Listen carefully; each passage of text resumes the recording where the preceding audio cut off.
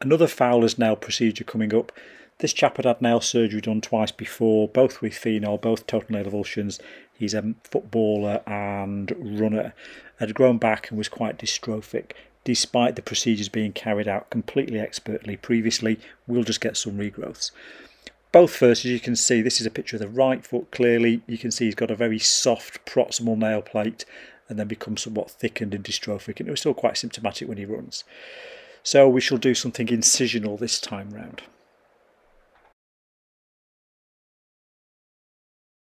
There you go. As always, a woman doing the job of three men. Right, so I'll probably start the video again there, Steve. So we're just going to say we're just all nice and numb there, weren't there? think, I There, you're all numb. there was no no sense of feeling. Now, No, you can't change your mind can't feel if you, you can't not feel nothing. No, You can't kept feel And I won't, um, I won't scream when you insert in the scale. Oh, well. I'll ruin the video. Well, honesty is always the best policy. What I'd say is, if you do feel any pain during the procedure, Steve, um, the quickest way to get hold of me is an email, or you can ring my secretary. Just let me know, okay? As soon as you can. So we put a bit of so Steve, half of it will be talking to you, the other half will be talking to the camera, okay? Yep. So tourniquet on, guys. So there's no claret while we're doing it. Which I had to explain to a patient what that was the other day. I said, oh yeah, you forget how you get these little colloquialisms. Now, if you want to tidy any of the other toes up while we're there, because I think they all look a bit. They all do look a little all bit, yeah. If, if you want to do anything else for yourself. Well, it's ve- uh, very so. tempting. I absolutely love these tourniquets. Not. All right. I think I've watched too many Guy Ritchie movies. And I said, a bit too much claret. You know, it's all a little bit. Are we still in shot there, sister? Awesomeness. Right. So the first thing I'm going to do, we're all prepped and clean, but just just for the camera, we'll just do a little bit more. Now the first thing we have to try and do, Steve, is get that sorry excuse for a nail away really. Yeah, it's, um, Now we've got our nice sets today, so we've got these really nice elevators. So I'm never quite sure what these ones are called. Are these McKeevers or Fickling, Sarah? Do we know which ones these are? These these nail elevators? I'm going to try and find a name for you because we don't get normally the nice ones. What does it say on the pack? It says Fick, Fickling elevator. That's a hell of a name, that. Helen, your job is to keep sure that we're still in shot. Oh, this is a bit tight, Steve. I'm so glad I can't feel that. Well, I am too. Otherwise, I'd have to take the sound off the video. Oh, Don't be blaspheming, Steve. Oh, yeah. It's nearly Christmas. It's his birthday and all of that. Okay, so this. So just to give a bit of background, I'll probably put a little something, Steve, when I put your video together. But you've had nail surgery how often? Um, twice before. Uh-huh. Had These removed twice before. And where was that done? So that was done at St Elsewhere, wasn't it? Not, don't say who, but that was done In Rushden. in Rushden. Okay. I don't know, I can't remember the place there, but in Rushden, yeah. So trying to get what's left of the nail. So that's really in a bad way. Thank you, Bajin. So that's not great. The nail, nail such as it is, but it's it's kind of half nail and half just. That's a bit suspicious there in terms of nail, and then you've got when, other bits of bobs. when they done it before, they said that I've got a very thick nail there. Apparently. It wasn't very soft. Yeah, it is fairly tough. I'm out of shot. Thank, you- thank you very much, sister. Brilliant. Okay. I found a new new unit of measure for thickness the other day. As thick as a Boxing Day turd. I was quite pleased with that one. I'm quite pleased with that. I'm not sure if I'm going to put that in your notes, but I was quite pleased with that one. I might have to edit that out of the video. So we'll get this is all skin around here, Steve. Yeah.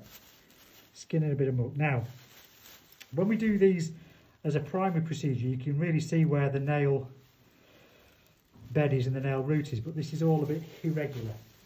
So the idea with doing something, you'd had phenolization, I think, Yeah, twice twice. before, so the idea is it kills the root. Now, we do, we like the phenolization, it's a nice technique, but you do get some regrowth so um, it's, and if you try to put some acid on that, still in shot there, You sister. are. It's just a case of saying, well, where would you put the acid? Because the root is actually, and I've not really exposed all the root yet, but the root is sort of underneath this, and it's it's all a little bit irregular. So we're going to do the Fowler's technique. So we make a cut there. Well, it took about 18 months to go back the first time, but this second time it's took about seven years, I think. You know, six or seven. Oh, so it's over a long time this has been a bit. Yeah, this one, this was, took a long time to go through this time. But go through it has.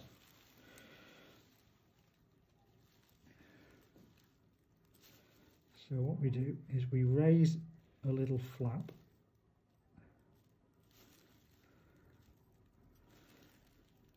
So we'll we'll try and upload this as a video, Steve. See if we can get this as a as a little Blue Peter. This is how you do it. But then we're going to follow you up over a few months because we want to see how it goes Yeah. and do a ideally in the new year a little oh look this has worked out really well so this kind of exposes where the root is underneath that so and you want to stay fairly superficial and then take out where the root itself should be I'll, I'll look away if I don't like it. yeah well I do too at this bit I can't stand the sight of blood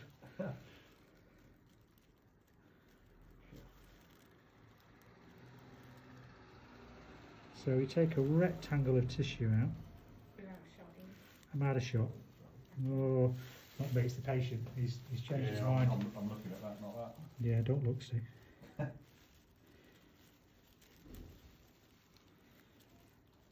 So the, the tricky bit for this as a primary procedure, Steve, is working out what's root and what's nail bed, and it's the root that you want. Because yours is so abnormal and dystrophic, so that really should be root. But then we have a little look and then we'll see. So you want to be down to bone. So there's a little bit of soft tissue there. Thank you. Oh, oh, that's bone. Well, Is that bone? I can't discuss a patient, I'm sorry. so then we use our curette. I reckon when that anaesthetic wears off, this is going to be a bit of pain. Yeah, well, it, it can be a little bit sore. Um, um, have you got my mobile number, Steve? But no, And that's why. this is going to smart a bit in the morning.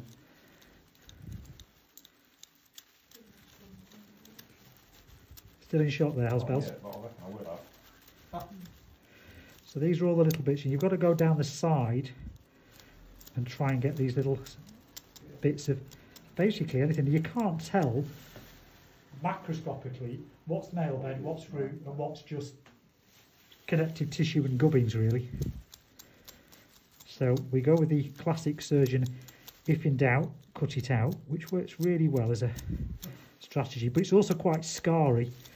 So I do this technique quite a lot and this is one of the more difficult ones I've done to work out what's what's normal and what's not so. So I really want to make sure we get anything out that's a bit suspiciously looking like it could be um, rooty. So I'm just going to just going to go in a little bit there. It's a bit different to the technique you had before, Steve. Obviously, this is why Yeah. we get this kind of the cheeky ones here because we like to do these. Well, she did, she did rough up that bed last time with the scalpel, so got in it on the second time. Yeah, yeah. She was a bit annoyed I'd come back.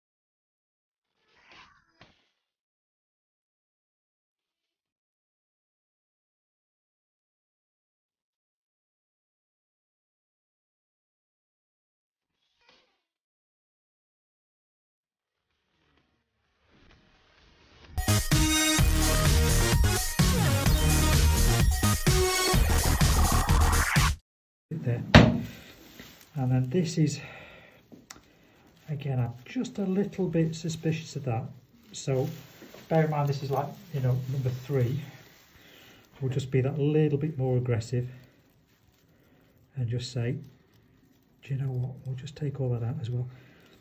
Next time we take it out to the heel, Well, there is a we'll there, there is a technique where we take off the toe. It's called a it's called a lapidus procedure. I have done it.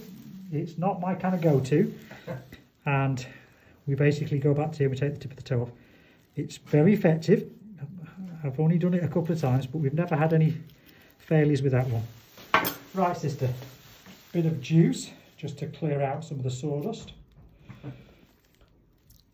So I, it looks really clean in there. The thing is, macroscopically, you can't tell. You could send little bits away, and under the under the microscope, the guys could say tendon, periosteum, root.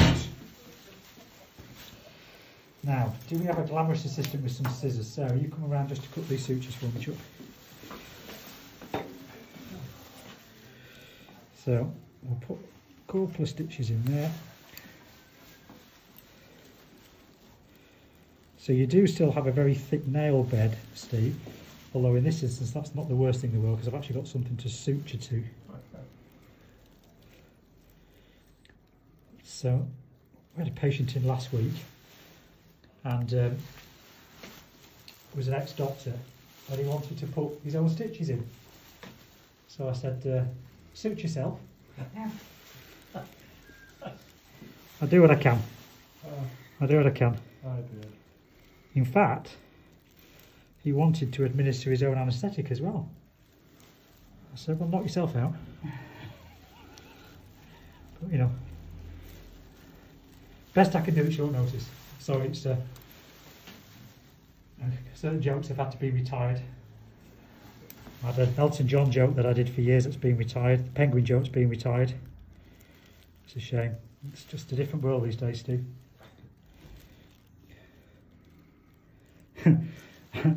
so I ran a course a couple of weeks ago, and I was joking with the guys. Well, such as it. Well, I thought I was joking, saying the penguin joke's been retired. And there's only one person in the room who'd heard the penguin joke. She went, "Yeah, that's probably a good one to every time. So I've had people email me for the last two weeks, sending me penguin jokes, saying, "Is this the penguin joke?" I said, "No, it's not the one." You can't know it's been retired, Helen. It's been it's been officially retired as, you know, in the modern day, can't do those kind of jokes anymore. Alrighty, so that is clean as a whistle.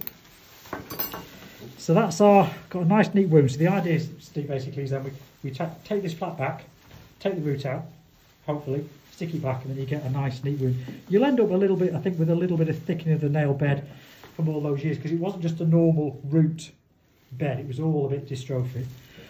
But that was it. Now I've done a couple of these. Yeah. That was more difficult than the average because it's number three. But Oh, anyhow, it's not, it's not. well, you know, I um, I'm as confident as I can be. So I think what I'll do is we'll try and turn this into a YouTube video, and then we follow it up. We'll do some more, and then if it grows back in six months' time, I'll take the first video off, and then nobody will see No, it. yes, Okay. yeah. yeah. That, that's what I'll do. Have we got? Have we got a bandage, please, sister? Do you know what bandage is, Helen? The bandage. Yeah. Well, yeah, it's French for bandage. Very good. What is it Um, Franklin? After you- Yeah, so that's a very interesting question actually. So there's a, there's a whole kind of like rule of thumb in terms of tourniquets. You've got to make sure you take them off. I kind of like to do it lastest, so that you've got Yeah. the wound covered. Yes. Yeah, um, yeah, no, we'll, we'll use them again. I think we can afford one. We've actually got the other toe to do as well, but uh, viewers. But I hate these tourniquets, so I'll actually we like Steve, so we'll, we'll open up another pack for it. So you could. There, there, there's an argument to take it off when you can see it. Yeah. There's an argument to put the dressing on and then take the bandage off. However,